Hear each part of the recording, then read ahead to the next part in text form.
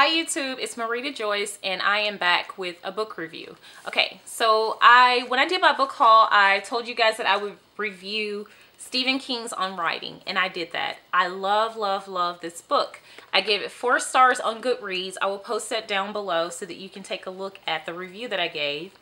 And I found Stephen King's Memoir of the Craft to be excellent. It was great as a memoir and it was also great as kind of a writing manual.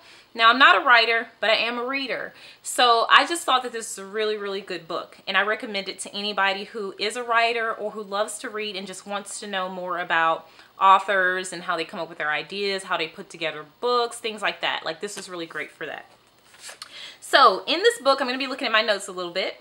Um, Stephen King starts out talking about his early life, his history from his childhood, and he gives you an overview. He tells you everything from things about his ear infections to like embarrassing moments. And then he goes on to talk about his early reading of science fiction magazines and how that sparked his interest in writing. So I'm going to read a blurb from the book. On page 51, Stephen King says, one night, sick to death of class reports, cheerleading updates, and some lame brain's effort to write a school poem, I created a satiric high school newspaper of my own when I should have been captioning photographs for the drum. The box motto in the upper left-hand corner was, not all the news that fit to print, but all the you know what that will stick. That piece of dimwit humor got me into the only real trouble of my high school career. It also led me to the most useful writing lesson I ever got. Okay, so here he's going to start telling us about an event that happened in school. So it says, Cowman, because of his family old Ricker Dairy, Mr. Deal, the earth science teacher, became Old Raw Deal. As all sophomoric humorists must be, I was totally blown away by my own wit. What a funny fellow I was. A regular Milltown H.L. Mencken. I simply must take the vomit to school and show all of my friends. They would bust a collective gut. As a matter of fact, they did bust a collective gut. I had some good ideas about what tickled the funny bones of high school kids, and most of them were showcased in the Village Vomit. In one article, Cowman's prize jersey won a livestock farting contest at Topsham Fair. In another, Old Raw Deal was fired for sticking the eyeballs of specimen fetal pigs up his nostrils. Humor in the Graham Swiftian manner, you see. Pretty sophisticated, eh?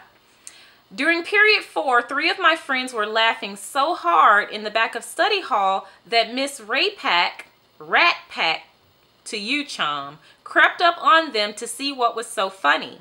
She confiscated the village vomit, on which I had, either out of overweening pride or almost unbelievable naivete, put my name as editor-in-chief and grand high poobah. At the close of school, I was for the second time in my student career summoned to the office on account of something I had written. This time the trouble was a good deal more serious. Most of the teachers were inclined to be good sports about my teasing. Even old raw deal was willing to let bygones be bygones concerning the pig's eyeballs. But one was not. This was Miss Mardigan, who taught shorthand typing to the girls in the business course. She commanded both respect and fear. In the tradition of teachers from an earlier era, Miss Mardigan did not want to be your pal, your psychologist, or your inspiration. She was there to teach business skills, and she wanted all learning to be done by the rules. Her rules. Girls in Miss Mardigan's class were sometimes asked to kneel on the floor, and if the hem of their skirts didn't touch the linoleum, they were sent home to change. No amount of tearful begging could soften her. No reasoning could modify her view of the world. Her detention lists were as longest her, her detention lists were the longest of any teacher in the school, but her girls were routinely selected as valedictorians or salutatorians and usually went on to good jobs. Many came to love her. Others loathed her then and likely still do now, all these years later. These later girls called her Maggot Mardigan, as their mothers had no doubt before them. And in the village vomit, I had an item which began, Miss Mardigan, known affectionately to Lisbonians everywhere as Maggot.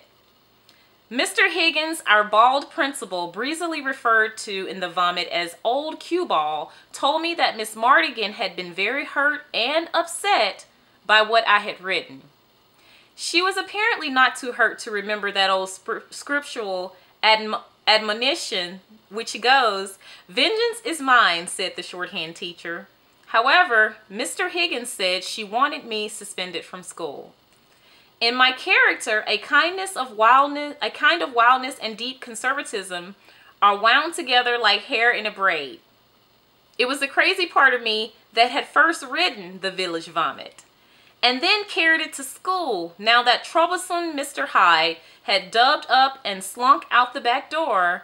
Dr. Jekyll was left to consider how my mom would look at me if she found out I had been suspended, her hurt eyes. I had to push I had to put thoughts of her out of my mind and fast. I was a sophomore. I was a year older than most of my other class. And at six feet two, I was one of the biggest boys in school.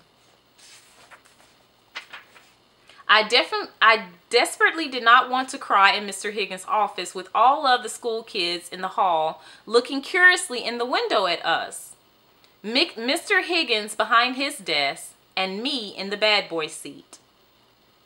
If it makes any difference, my apology was heartfelt. Miss Mardigan really had been hurt by what I had wrote, and that much I could understand. I doubt that she hated me. She probably was too busy, but she was the National Honor Society advisor at LHS, and when my name showed up on the candidate list two years later, she vetoed me. The Honor Society did not need boys of his type, she said. I have come to believe she was right. A boy who once wiped his you-know-what with poison ivy probably doesn't belong in a smart people's club. So that was kind of long, but that was, I thought, my favorite, that was my favorite two pages in the book. I love the idea that Stephen King at such a young age was so ballsy. He was so brave. He was brave enough to do this paper, this newspaper. He was the editor of the, the school paper. And instead of him doing what he should have been doing, he was actually making fun of his instructors in a very creative and linguistic way. So that's all being said to say that I think great writers have creative minds that sometimes they can use in the worst way. That probably wasn't the best thing to do in high school. But nonetheless, I think Stephen King at a very young age showed a propensity for um, having a feeling of wanting to do something and then just having to get it out. He just had to get that out of him. He had to. And I think that's what we have grown to love about Stephen King. He's brave, he's honest, and in this book he talks about being honest in your writing. Um, and I mean, I, I, that definitely got him in trouble in high school, but that's one of the things that I really love about this book. It's very honest. Um, Stephen King also talks about what's good writing. What is good writing? He says that first, Good writing consists of mastering the fundamentals, vocabulary, grammar, and the elements of style. Um, I thought that was really important. He also speaks about some of other some of the other great writers in history: Shakespeare, Faulkner, Yeats, Shaw, Eudora. The um, it was it was it was really really good as far as finding books within a book. This is it. This is the book to find the great books. He talks about Charles Dickens and Raymond Chandler. Um, the book is just great. One of the quotes that interested me, it says, and this was epic. If you want to be a writer, you must do two things above all others. Read a lot and write a lot. And I truly believe that. I think if you really want to be good at almost anything, you need to read a lot. Now, I don't know about the writing part because I'm not a writer, but I think that reading opens up the world in ways that almost nothing else can because um, I, I like I said, I named my channel um, Maurita Joyce Reads Minds, but books open you up to some of the greatest minds in the world and it opens you up to a compilation of information um, that you may not be able to get because you can't access these people. You may not be able to access these people, but you could all you could always access what's in their head because it's somewhere in a book. So I love, I love, love, love that about this book. I love that about this book. Um, another thing that Stephen King talked about in the book is if you don't have time to read, you don't have time to write. There you go. That's for you writers out there. He talks about how to keep the reader interested. Um, he goes in, in great detail and he uses his book Misery as an example of how to keep the reader interested. I never read M Misery. In fact, I'll be honest with you, this is the only Stephen King book that I've ever read. But I fell in love with this book and I probably will go on to read his other books. I've watched lots and lots of his movies. I have a brother who's a horror movie fanatic and as a child, to my dismay, I watched a lot of horror movies, and a lot of them were uh, Stephen King uh, books that were turned movies. So I'm really interested. Caffeine is a writer's best friend. I'm going to have to agree with that. I love caffeine. And I always think it makes me a better writer once I've had like two, three cups of tea or coffee.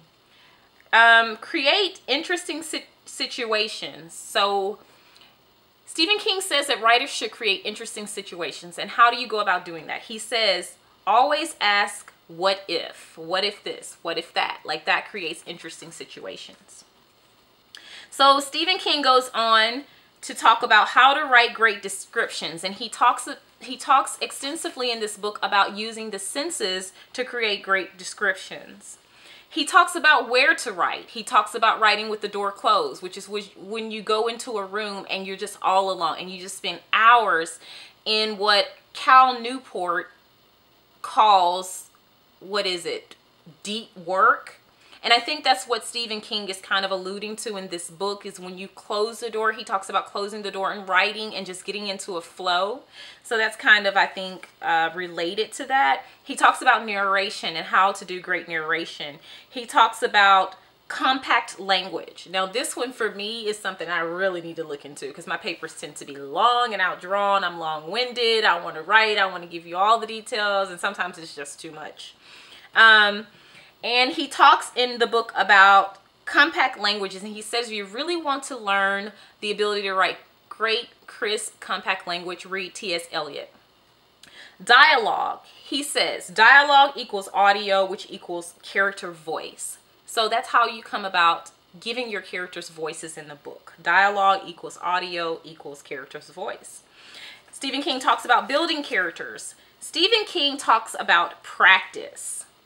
Practice, practice, practice. This is what he says on practice. On page 195 of On Writing, Stephen King says, We've covered some basic aspects of good storytelling, all of which return to the same core ideas, that practice is invaluable and should feel good, really not like practice at all, and honestly is indispensable. So yes, so I guess to be great at anything, you need to spend many, many hours in practice. How to find an agent. He talks about submitting your work. He walks us through revising a book. That I thought was kind of awesome. And he is detailed in it. He gives very, very good advice about how to how to revise a book. And I had an English teacher in high school that taught us to write and then leave your writing for days. And Stephen King talks about writing a book and I think he says how long to let the first draft rest. He says six weeks. Six weeks of allowing the first draft to rest. And when you come back to writing after you've left it or hid it and not looked at it for a period of time, you can see all of your mistakes. He was so on point on this. And it made me think about my high school teacher. And I thought about all the things that she taught us about writing. And I was like, wow, you know, like she had given us that advice And here Stephen King was repeating that. So I was like, good stuff. Um, he talks about a formula, which I thought was really interesting. And that formula is the second draft equals the first draft minus 10%. And he says this is the way you squeeze out all of the bad stuff in your writing and you get only the pulp, only the good stuff. Um, and he he talks about using that formula to get rid of extraneous information that is not needed. And that's how you get a good, crisp piece of work. Um, and he says that he does that before sending his stuff off to um, publishers or whatever, whoever he's submitting his work to. So, in the last part of the book, he just says, good luck. And he says, read a lot, write a lot. And so I love this book. Those are some of the things, the points that I really loved in this book and that kind of captured me. This is going to forever be on my shelf as a reference and also as a guidebook Stephen King also goes on to list a book list. And if you're anything like me, I'm probably more obsessed with book lists than I am actually reading. And he lists all the books that he reads. And I just thought that was fabulous. And I love that. This, this is one of my all-time favorite reference manuals for writing and he actually made me feel like I could just sit down and actually write something. Like that was pretty cool.